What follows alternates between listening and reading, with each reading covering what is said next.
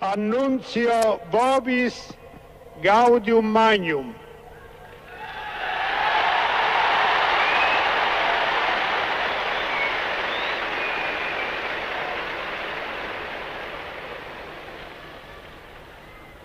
Habemus papam.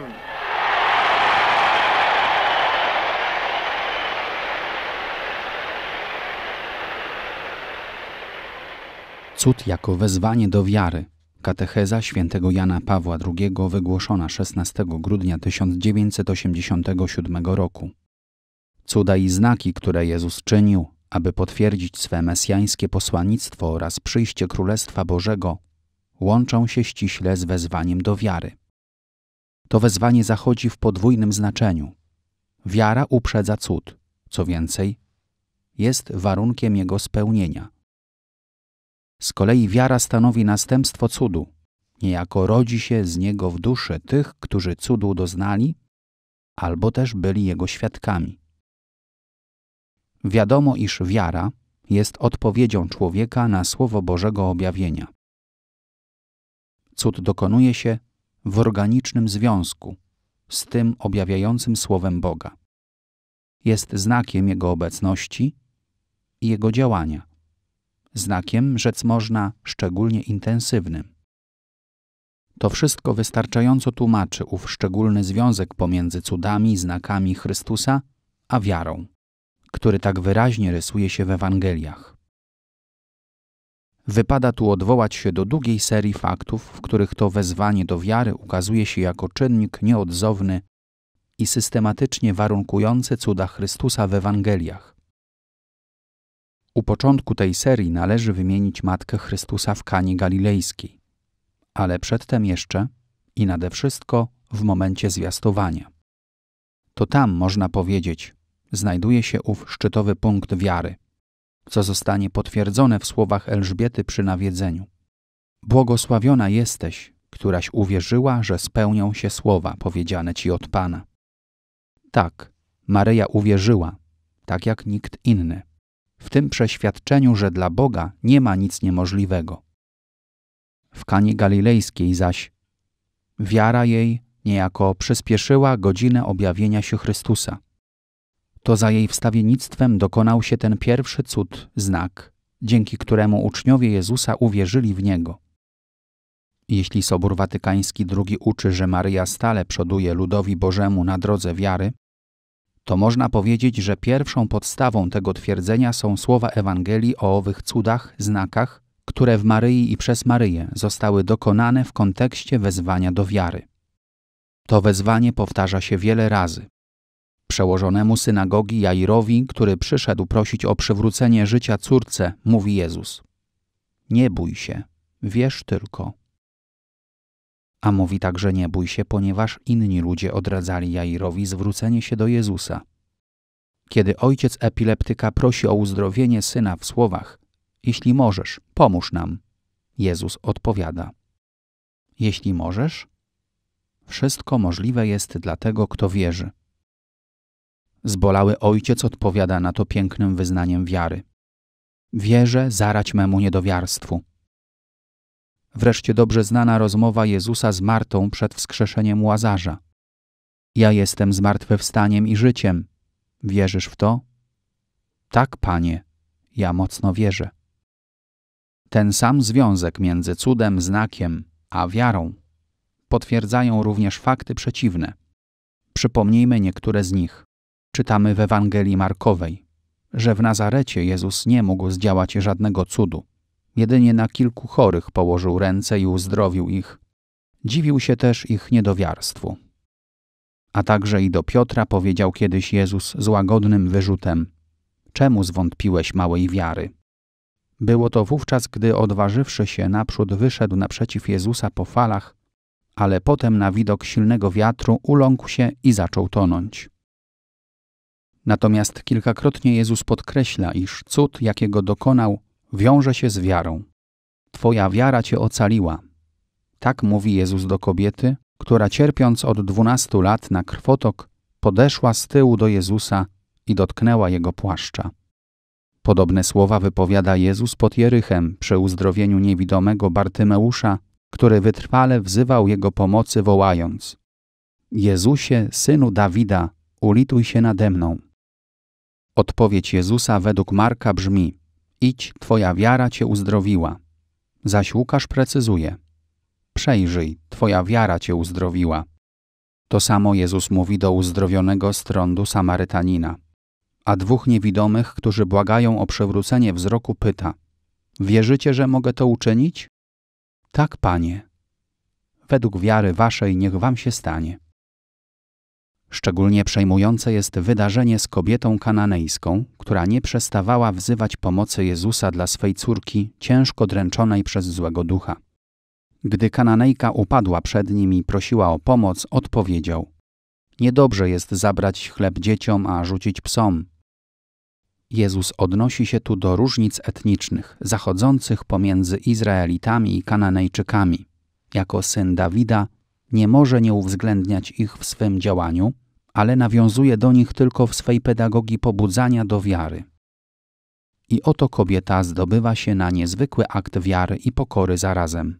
Mówi: Tak, panie, lecz i szczenięta jedzą z okruszyn, które spadają ze stołu ich panów. Wówczas Jezus: O niewiasto, wielka jest Twoja wiara, niech ci się stanie jak chcesz.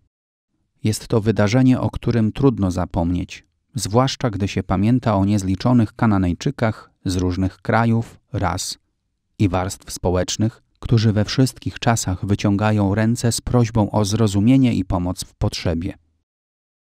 Zwróćmy uwagę na stale uwydatniany w Ewangeliach fakt, iż Jezus, gdy widzi wiarę, spełnia cud. Tak było już z owym paralitykiem spuszczonym przez otwór w dachu. I tak jest w tylu innych wypadkach zanotowanych przez ewangelistów. Wiara jest warunkiem nieodzownym, ale gdy tylko warunek ten zostaje spełniony, serce Jezusa skłonne jest wysłuchać próśb wszystkich potrzebujących, którzy wzywają pomocy ze strony Jego boskiej władzy. Jak powiedzieliśmy na początku, cud jest znakiem zbawczej mocy i zbawiającej miłości Boga w Chrystusie. I właśnie dlatego jest równocześnie wezwaniem do wiary. Ma prowadzić do uwierzenia zarówno ze strony tego, który doznaje cudu, jak też tych, którzy są świadkami cudu. Odnosi się to do apostołów, od pierwszego znaku, jaki uczynił Jezus w Kanie Galilejskiej. Wtedy to właśnie uwierzyli w Niego. Z kolei należy zwrócić szczególną uwagę na cudowne rozmnożenie chleba w pobliżu Kafarnaum, z czym łączy się zapowiedź Eucharystii. Ewangelista notuje, iż wówczas wielu uczniów jego się wycofało i już z nim nie chodziło, nie mogąc przyjąć mowy, która wydała się im zbyt twarda.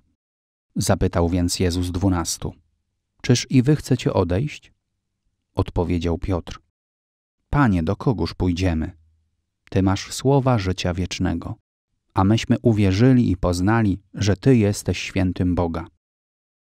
Tak więc wiara jest podstawową zasadą w stosunkach z Chrystusem. Stanowi ona zarówno warunek dostąpienia cudu, jak i cel jego spełnienia. Doskonałym tego wyjaśnieniem są ostatnie słowa Ewangelii Janowej, gdy czytamy i wiele innych znaków, których nie zapisano w tej książce, uczynił Jezus wobec uczniów. Te zaś zapisano, abyście wierzyli, że Jezus jest Mesjaszem, Synem Bożym i abyście wierząc, mieli życie w imię Jego. Katecheza dzisiejsza jest dalszym ciągiem, w pewnym sensie zakończeniem tych wszystkich katechez, które odnosiły się do cudów, czyli znaków, jakie Jezus czynił na potwierdzenie swego posłannictwa, na potwierdzenie prawdy tego, czego nauczał. Jan na końcu Ewangelii pisze: To wszystko, owszem, wiele innych znaków uczynił Jezus, abyście wierzyli, że jest on Mesjaszem, synem Bożym, ażebyście wierząc mieli żywot wieczny w imię Jego. Te słowa, które znajdują się na końcu czwartej Ewangelii, równocześnie najlepiej wskazują na znaczenie i celowość wszystkich cudów i znaków Jezusa Chrystusa. Wiele miejsc w Ewangeliach potwierdza syntezę zawartą w tych słowach świętego Jana. Na wielu miejscach mowa jest o wierze jako warunku, który Chrystus stawia ludziom proszącym go o cud. Gdzie indziej cud jako znak mocy Bożej staje się początkiem wiary, A najczęściej jest tak, że wiarę zaledwie kiełkującą Jezus przez swoje cuda umacnia i pogłębia. To się odnosi naprzód do samych apostołów. Powiedziane jest bowiem po pierwszym cudzie w Kani Galilejskiej, że uwierzyli w niego uczniowie jego. Początek wiary, który z sobą przynieśli, przyłączając się do Chrystusa, został umocniony. I w tak wielu innych wypadkach. Trudno tutaj powtarzać wszystkie szczegóły, które zawierają się w dzisiejszej katechezie. Może najbardziej wstrząsające jest wydarzenie z niewiastą kananejską, która prosiła Chrystusa, nalegając ze wszystkich sił o uzdrowienie córki, a Jezus dawał jej poznać, że nie jest posłany do innych, którzy są spoza Izraela. Była córką ludu kananejskiego. Jednakże niewiasta w swojej prośbie znalazła jeszcze większy wyraz wiary.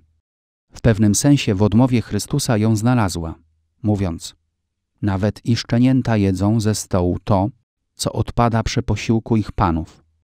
I wtedy Jezus, przejęty tą wiarą, powiedział chyba najmocniejsze słowa na ten temat: Niewiasto, wielka jest Twoja wiara, niech ci się stanie, jak prosisz. Jest więc w Ewangeliach bardzo wyraźny związek pomiędzy cudem i wiarą. Wiarą i cudem. I ten związek, jak na to wskazuje zresztą przytoczony na początku tekst Janowy, kończący jego Ewangelię, ten związek jest stale obecny w świadomości wszystkich, którzy wierzą, że Jezus jest Chrystusem, Mesjaszem, Synem Bożym, którzy szukają w Jego imieniu życia wiecznego. Trzeba jeszcze dodać, że na czele tych wszystkich, którzy tak właśnie uwierzyli, idzie sama Matka Chrystusowa. W tym roku, roku maryjnym, odwołujemy się do jej wiary, którą pochwaliła Elżbieta. Błogosławiona jesteś, któraś uwierzyła, że ci się stanie. Maryja uwierzyła w momencie zwiastowania przede wszystkim. Nie ma nic niepodobnego u Boga.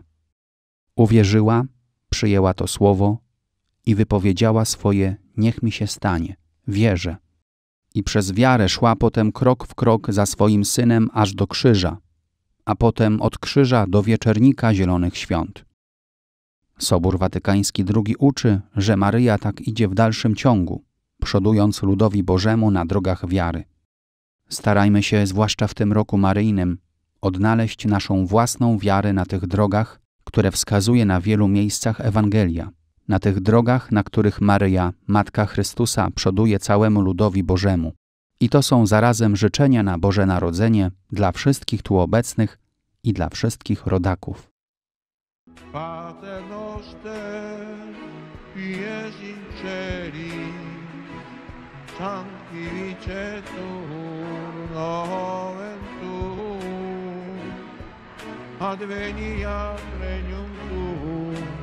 Fiat voluntas tua, sicur in cielo et in terra.